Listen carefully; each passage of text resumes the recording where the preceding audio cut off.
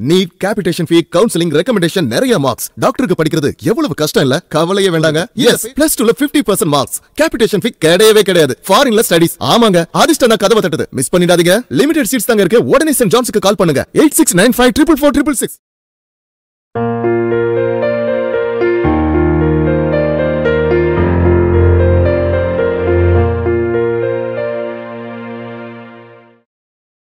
உலகெங்கும் உள்ள என் சகோதர சகோதரிகளுக்கு என் மனமார்ந்த வணக்கம். ஹெட்லைன்ஸ் டிவியில் ஒன் மில்லியன் சப்ஸ்கிரைபர்ஸ் இப்போ வந்து ரீச் ஆகியிருக்காங்க இதுக்கு என்னுடைய மனமார்ந்த எங்களுடைய டீம் சார்பாகவும் எங்களோட நன்றிகளை நாங்கள் தெரிவிச்சுக்கிறோம்.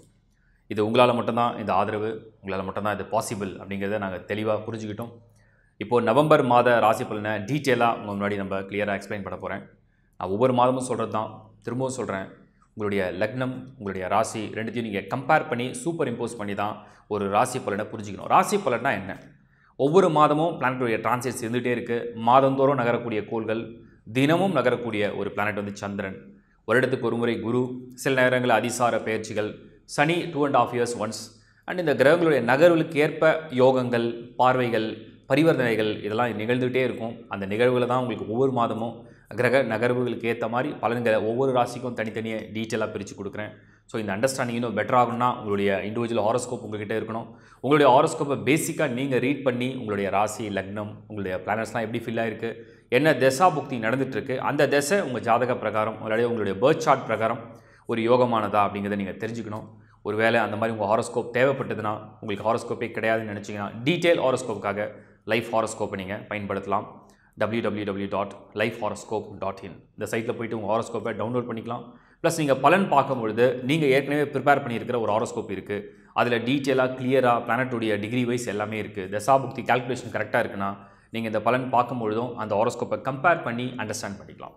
உங்கள் லக்னத்துக்காகவும் ஒரு பலன் பார்க்கலாம். உங்கள் ராசிக்காகவும் நீங்கள் பார்க்கலாம். தேங்க்யூ இப்போ நம்ம டீட்டெயிலாக நவம்பர் மாத ராசி பலனை பார்ப்போம். மிதுன ராசி மிதுன ராசி நவம்பர் மாத பலன்கள் எப்படி இருக்குது டீட்டெயிலாக பார்ப்போம். மிதுனம். ஒரு விசேஷமான ஒரு ராசி இந்த மிதுனம். இந்த மிதுனத்துக்கு இரண்டு சிம்பிள் இருக்கும். ஒரு ஆண் மற்றும் பெண். ஸோ மிதனத்தை பொறுத்த வரைக்கும் நம்ம என்ன அண்டர்ஸ்டாண்ட் பண்ணோம்னா இந்த மாதத்தில் புதன் வந்து ஐந்தாம் இடத்துல வக்ர நிவர்த்தி அடையக்கூடிய புதனாக இருக்கார். அதே நேரத்தில் சுக்ரன் வந்து நான்காம் இடத்துல நீச்சம் புதன் சுக்கிரன் பரிவர்த்தனை. இந்த புதன் சுக்ரன் பரிவர்த்தனை வந்து மிதனத்தை பொறுத்த வரைக்கும் ரொம்ப ஃபேவரபுளான ஒரு பாயிண்ட்டை தான் நம்ம எடுத்துக்கணும். என்ன காரணம்னா புதன் வந்து உங்களுக்கு lord of one and four ஒன்றுக்கும் நான்குக்கும் அதிபன் புதன். இந்த சுக்கரன் வந்து அஞ்சு பன்னிரெண்டுக்கு அதிபன். ஐந்து பன்னிரெண்டு ஒன்று நான்கு இது வந்து பரிவர்த்தனை செய்யும் பொழுது உங்களுக்கு சுகங்கள் உங்களுடைய வாழ்க்கையில் திட்டங்கள் இதுக்கெல்லாம் வந்து மைண்ட் வந்து உங்களுக்கு வந்து ஒரு ஃபோக்கஸ் கொடுக்கும். ஸோ மிதுனம் ஒரு ஆர்வத்தை அதிகரிக்க ஆரம்பிச்சிடும். ப்ளஸ் புதன் சுக்கரனுடைய பரிவர்த்தனை கலை சம்பந்தப்பட்ட துறையை சார்ந்திருந்தீங்கன்னா அதிகமான வாய்ப்புகளையும் உங்களுடைய முன்னேற்றங்களுக்கு தேவையான ஒரு அறிவாற்றலையும் இந்த புதன் சுக்கரன் கொடுக்கும். இது வந்து ஒரு விசேஷமான ஒரு பலனாக இந்த மாதத்தில் உங்களுக்கு இருக்குது ஆல்மோஸ்ட் வந்து ஒரு வருடத்தில் கிட்டத்தட்ட ஒரு மூன்று நான்கு முறை இந்த புதன் சுக்கிரன் பரிவர்த்தனையும் செய்யும். சில சமயத்தில் ஒரே நேரத்தில் அந்த புதன் சுக்கரன் உச்சம் நீச்சம் அடைந்தும் நீச்சமாக ராஜயோகத்தையும் தரும். இப்போ இது வந்து மிதனத்துக்கு ஒரு பாயிண்ட்டாக எடுத்துக்கலாம். பத்தாம் இடத்துல செவ்வாய் இருக்குது செவ்வாய் வந்து உங்களுக்கு ரொம்ப ஃபேவரான பிளான்ட்டாக இல்லைனா கூட ஆறு பதினொன்றுக்கு அதிபன். ஒரு பக்கம் பாதகாதிபதியாக லெவன்த் ஹவுஸ் எடுத்துப்போம். இன்னொரு பக்கம் ஆறுங்கிறது நோய் ரோகம் இல்லை பிரச்சனைகள் சொல்லலாம். உபஜயஸ்தானம் வெற்றிக்கும் ஒரு வழியும் ஆறு தான் கொடுக்கும். ஸோ ரெண்டு ஆங்கிளில் நம்ம பார்க்கும்பொழுது செவ்வாய் பத்தாம் இடத்துல இருந்தால் நல்லதா? எந்த ஒரு அசுபர் பத்தாம் இடத்துல இருந்தாலும் ஒரு ஃபைட்டிங் சைடில் வந்து ஒரு ஸ்ட்ரென்த்தை கொடுக்கும். ஒரு அசுப கோல் வந்து பத்தாம் இடத்துல இருந்தால் மட்டும்தான் ஒரு மனிதன் வந்து தன்னுடைய தொழிலில் தன்னுடைய வாழ்க்கையில் தன்னுடைய கர்மா அவர் தன்னுடைய பிஸ்னஸ் ஜாப் எதுவாக இருந்தாலுமே அது ஆண் அல்லது பெண் யாராக இருக்கட்டும் இப்போ ஒரு ஃபேமிலி லைஃப்பில் ஒரு விமன் இருக்காங்க. அந்த விமன் கூட அவங்க வந்து அவங்க லைஃப்பில் வந்து ஒரு முக்கியமான ஃபோக்கஸ் இருக்கணும் லைஃப்பில் எல்லாத்தையும் பேலன்ஸ் பண்ணணும். எல்லாருடைய பிரச்சனையும் தீர்க்கணும் அப்படின்னு நினச்சா அவங்களுக்கு ஒரு தைரியம் வேணும் அவங்களுக்கு ஒரு எதிர்க்கிற சக்தியும் வேணும் ப்ளஸ் உத்வேகம் இருக்கணும் அறிவாற்றல் இருக்கணும் ஒரு ஸ்பான்டேனியஸாக வந்து திங்க் பண்ணக்கூடிய அந்த நாலேஜ் இருக்கணும். இதெல்லாம் வந்து அந்த பத்தாம் இடத்துடைய பலம் தான் முக்கியம். அந்த இடத்துல இந்த முறை செவ்வாய் இருக்கிறதுனால ஆற்றல் அதிகமாக கிடைக்கும். எதிர்க்கக்கூடிய சக்தியும் ஆற்றலும் அதிகமாக கிடைக்கும்.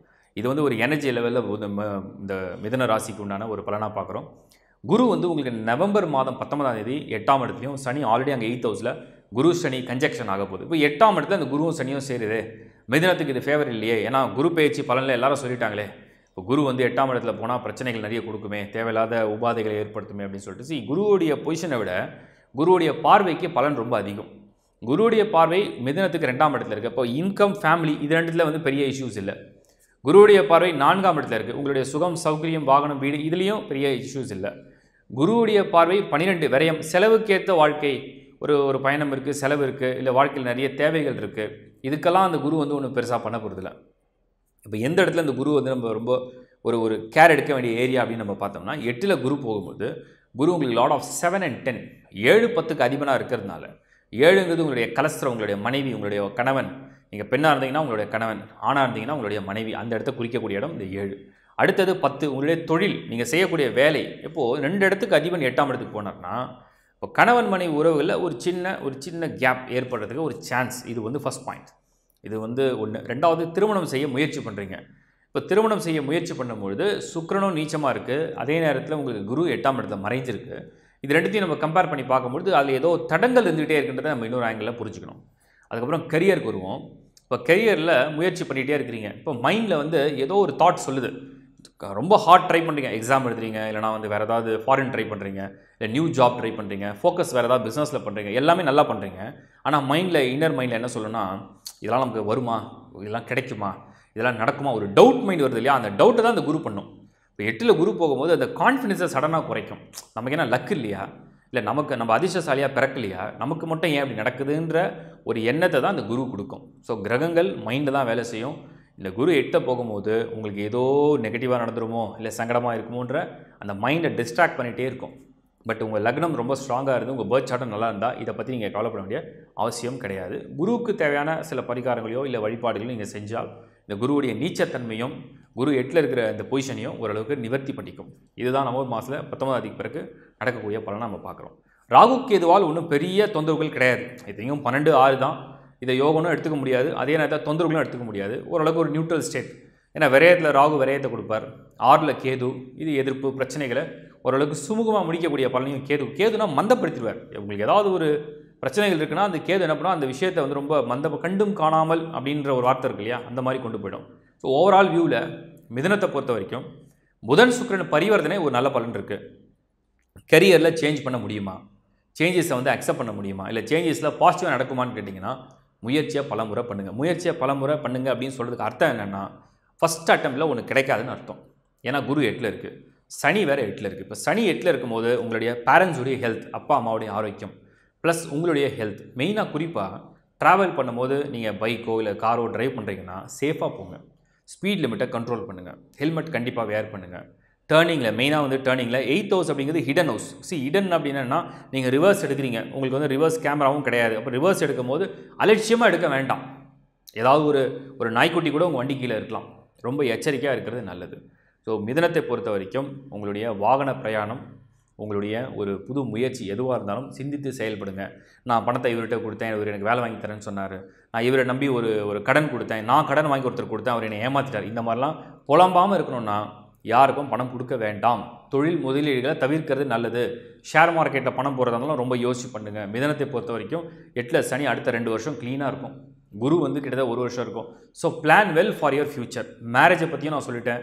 தடங்கள் பண்ணி தடங்கள் பண்ணி தான் நடக்கும். விரக்தி அடைய வேண்டாம். இந்த குரு வந்து ரொம்ப காலம் இந்த எட்டில் இருக்க போகிறதில்ல அதிசார பேச்சு அடுத்த வருஷம் மாறிடும் ஏப்ரல்லையே.